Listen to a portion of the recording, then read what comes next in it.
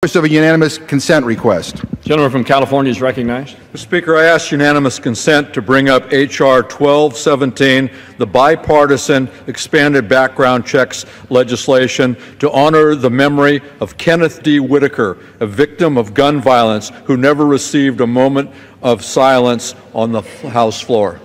Uh, The chair would advise uh,